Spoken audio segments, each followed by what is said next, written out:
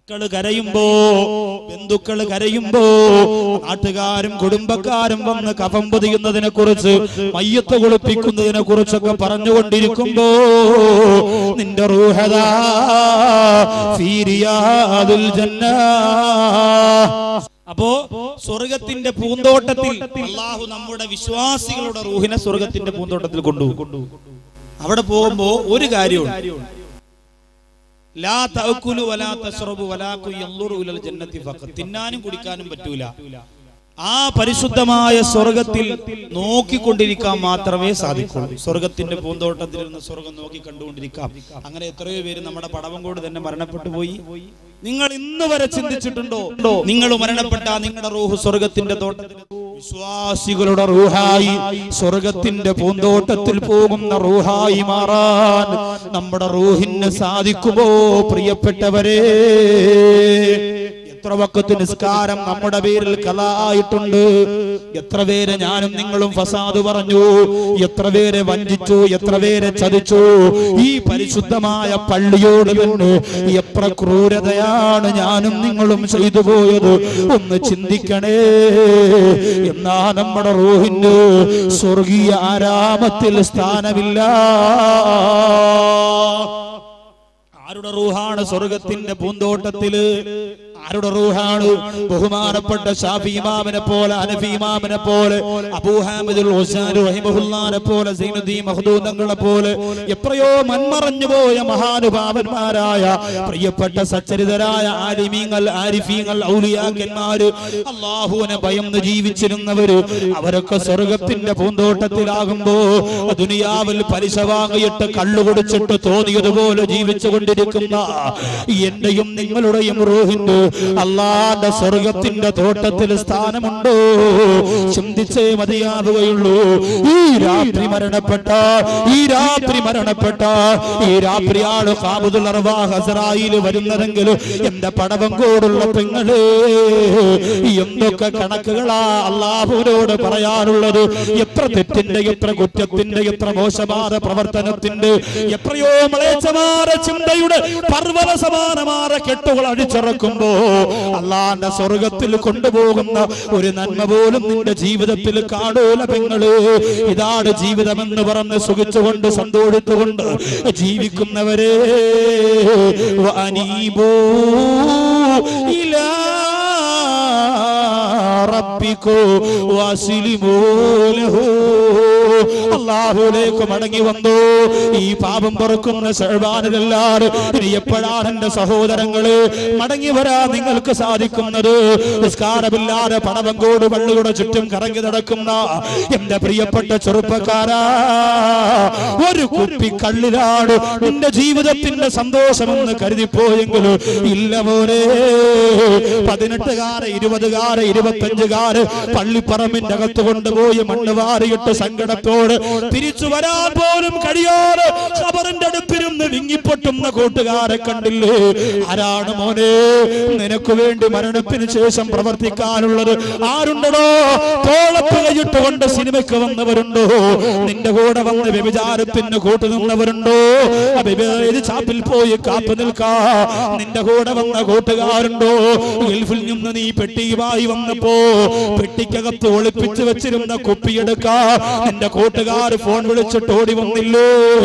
വീട് കുപ്പിയെടുപ്പില്ലോ കുപ്പിയെടുപ്പില്ലേ കല്യാണത്തിന്റെ തലേ ദിവസം കുപ്പിയെടുപ്പില്ലോ ഭാര്യ പ്രസവിച്ചപ്പോ കുപ്പിയെടുപ്പില്ലോ നിന്റെ ജീവിതത്തിന്റെ എല്ലാ സന്തോഷത്തിനും അലഹമില്ല പറയുന്നതിന് പകരം കൂട്ടുകാരെ വിളിച്ചു കൂട്ടിയിട്ട് കുപ്പിയെടുത്തിട്ട് അള്ളാഹുവിനോട് വെല്ലുവിളി പ്രഖ്യാപിച്ചവരെ.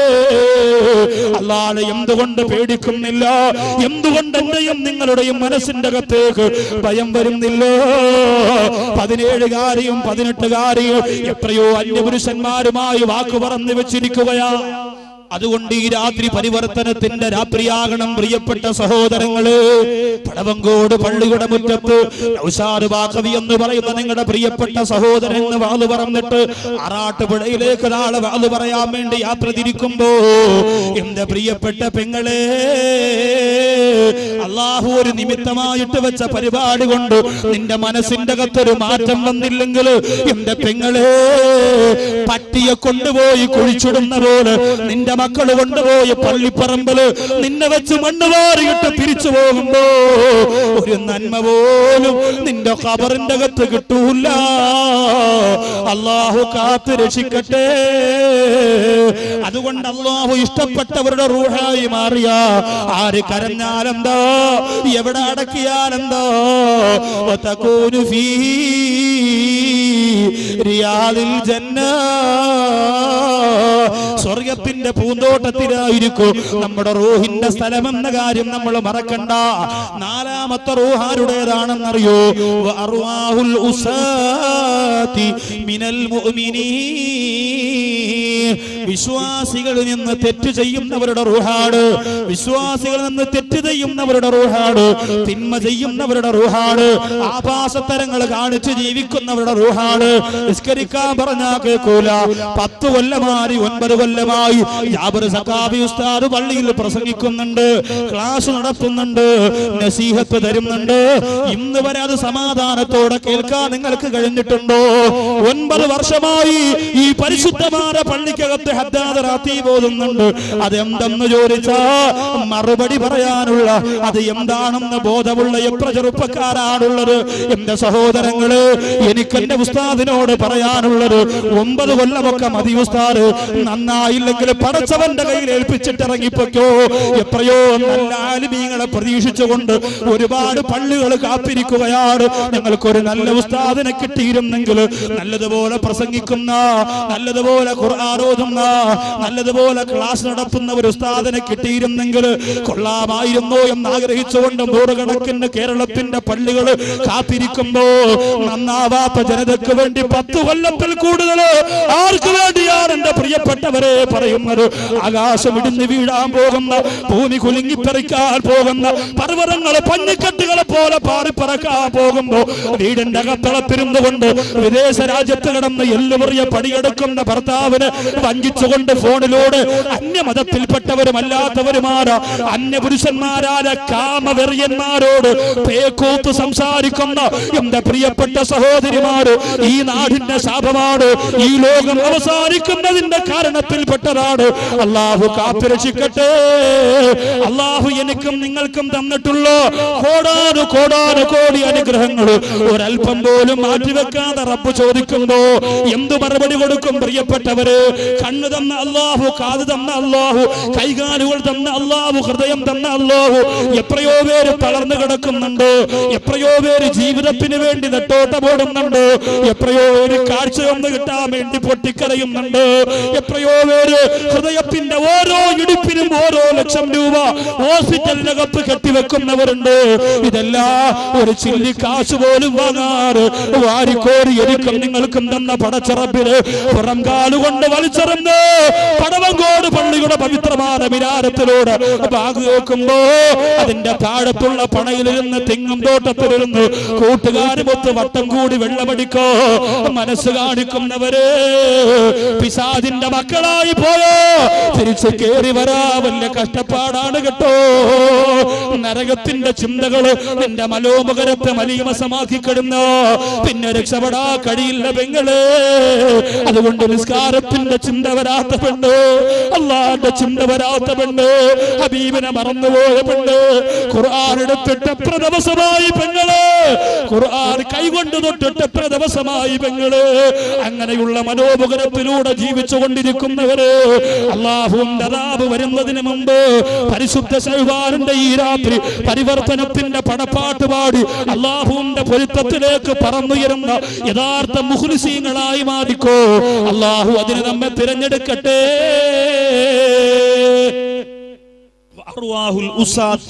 മാതാപിതാക്കളെ വഴിപ്പെടൂല ഭർത്താവിനെ വഞ്ചിക്കുന്നു ഭാര്യയെ വഞ്ചിക്കുന്നു മക്കളെ മര്യാദ പഠിപ്പിക്കൂല ഖുർആൻ ഓതൂല ഒരു ദീനി ചുവയുമില്ല പേരാണെങ്കിൽ മുസ്ലിം. പള്ളിയുടെ റെക്കോർഡിംഗിൽ പേരുണ്ട്. ഓന്റെ സുന്നത്ത് കല്യാണം പള്ളിയും പറഞ്ഞു. മരിച്ചാൽ അവിടെ തന്നെ അടക്കും. അങ്ങനെയൊക്കെ മുസ്ലിങ്ങളാണ്. ഇത് മാത്രമാണ് നിനക്കുള്ളത് എങ്കിൽ അതിനു മുമ്പ് തന്നെ ഈ ജീവിത പ്രമാണങ്ങൾ മനസ്സിന്റെ അകത്ത് ഉറപ്പിച്ചു നിർത്താൻ നമുക്ക് സാധിക്കണം. അല്ലാഹു തൗഫീഖ് തരട്ടെ. അസറായിൽ വന്ന് റോഹ് പിടിക്കുന്നതിന് മുമ്പ് അസറായിൽ വന്ന് കൊണ്ടുപോകുന്നതിന് മുമ്പ് ഈ ജീവിത പ്രമാണങ്ങളെ പ്രാവർത്തികമാക്കാൻ നാളെ ചെയ്യാമെന്ന് പറഞ്ഞ് മാറ്റിവെക്കരുത്. എന്നാൽ അങ്ങനെയുള്ളവർ പലർക്കും നഷ്ടം സംഭവിച്ചു പോയിട്ടുണ്ട്. നാളെയാവട്ടെന്ന് പറഞ്ഞ് മാറ്റിവെക്കാൻ നമുക്ക് നേരമില്ല. നിസ്കാരം തുടങ്ങാത്തവരെ പടവങ്കോട് പള്ളിയുടെ മുറ്റത്ത് വന്നിരുന്ന വാൽ കേട്ടിട്ട് നിസ്കാരം തുടങ്ങാത്തവരെ നാളെയാവട്ടെ എന്ന് പറഞ്ഞ് മാറ്റിവെക്കാൻ നേരമില്ല. നമ്മുടെ ഹൃദയത്തിന്റെ അകത്തേക്ക് ഭയമിട്ട് കൊടുക്കുക. പേടി നഷ്ടപ്പെട്ടു പോയ മനസ്സുകളാണ് നമ്മുടെ മനസ്സ്. നമ്മൾ പറയുന്നതും ചിന്തിക്കുന്നതും എന്തെന്നറിയോ? അള്ളാഹു പുറത്തു തരും കുഴപ്പമില്ല. എനിക്ക് അള്ളാഹു പുറത്തു തരും പ്രശ്നമില്ല. എന്റെ അവസ്ഥ അള്ളാഹുവിനറിയാ എന്റെ കഷ്ടപ്പാട് അള്ളാഹുവിനറിയാ പ്രിയപ്പെട്ടവരെ അങ്ങനാണെങ്കിൽ എന്തിനാണ് ബിലാലുൽ അള്ളാഹു എന്ന് ജീവിതത്തിൽ പൊട്ടിക്കരഞ്ഞത്?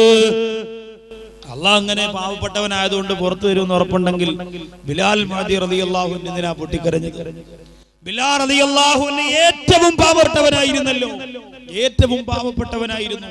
അള്ളാന്റെ റസൂൽ എല്ലാവരോടും ബിലാലിനെ സയ്യിദ് എന്ന് വിളിക്കണമെന്ന് പറഞ്ഞപ്പോ പൊട്ടിക്കരന്നുകൊണ്ട് ആരംഭ പൂവായ പുണ്യ നബിതങ്ങളുടെ മുമ്പ് വന്ന് ഹൃദയവേദനയോടെ അള്ളാന്റെ റസൂലേ എനിക്കതിനെന്ത് പവറാണ് ഉള്ളത് എന്ന് ചോദിച്ചുകൊണ്ട് പൊട്ടിക്കരഞ്ഞ ബഹുമാനപ്പെട്ട ബിലാൽ മഹദി റളിയല്ലാഹു തആല ഒരു പവറും ജീവിതത്തിൽ ഇല്ലായിരുന്നു. പാവപ്പെട്ടവനായിരുന്നു. അങ്ങനെ അല്ല രക്ഷ കൊടുക്കണമെങ്കിൽ ബിലാൽ റളിയല്ലാഹു അൻഹു രക്ഷ കൊടുക്കണമായിരുന്നു. ജോലിയും കൂലിയും ഇല്ലാത്ത പാവപ്പെട്ടവർ പറയും അള്ളാഹുവിനറിയാൻ കഷ്ടപ്പാടാ ഞാൻ ജോലിക്ക് പോയില്ലെങ്കിൽ എന്റെ വീട്ടുകാരും നോക്കും. ഉസ്താദന്മാർക്ക് അങ്ങനെ പറഞ്ഞാൽ മതി മൂന്ന് നേരം ചാപ്പാട് കൊണ്ടുവരും തേച്ച് വിനിക്ക് നടക്കാം ഒന്നും അറിയണ്ട അത്രയും പൂശി അടക്കാം അവർക്ക് നിസ്കരിക്കാൻ വിളിച്ചാൽ മതി. നമ്മുടെ ജോലിയും കൂലി അവർക്കറിയോ? എന്ന് പറഞ്ഞുകൊണ്ട് പറയുന്നവരെ അങ്ങനെ രക്ഷപ്പെടണമായിരുന്നെങ്കിൽ ബിലാൽ റളിയല്ലാഹുവിന് രക്ഷപ്പെടണമായിരുന്നു. പക്ഷേ ബിലാൽ മഹദി റതിയാഹുന് ഞാൻ പാവപ്പെട്ടവനാണെങ്കിലും അള്ളാഹുവിനോട് ചെയ്യേണ്ട ബാധ്യതയുണ്ടല്ലോ അത് ചെയ്യണമെന്ന ഉറപ്പ് മനസ്സിലുണ്ടായിരുന്നു. അത് ചെയ്യണമെന്നുള്ള ഉറപ്പ് മനസ്സിലുണ്ടായിരുന്നു. രോഗിയാണെങ്കിൽ ഞാൻ രോഗിയാണെന്ന് അള്ളാഹ്ക്കറിയാലോ? അതുകൊണ്ട് ചെയ്യണ്ട. എന്ന് കരുതുന്നവരുണ്ടെങ്കിൽ അയ്യൂബ് നബി അലൈഹി സ്വലാത്തു വസ്സലാമിനെ കണ്ടുപിടിക്കണം. അയ്യൂബ് നബിക്ക് അള്ളാഹു കൊടുത്തതുപോലെ രോഗം ആർക്കാ കൊടുത്തത്? എത്ര കഷ്ടപ്പെട്ടു എത്ര ബുദ്ധിമുട്ടി എത്ര പ്രയാസം അനുഭവിച്ചു. അവസാനം അയ്യൂബ് നബി അലൈഹി അള്ളാഹുവിന്റെ ഏറ്റവും നല്ല സർട്ടിഫിക്കറ്റ് വാങ്ങിയിട്ട് ലോകത്തിൽ നിന്ന് വിട പറഞ്ഞില്ലേ?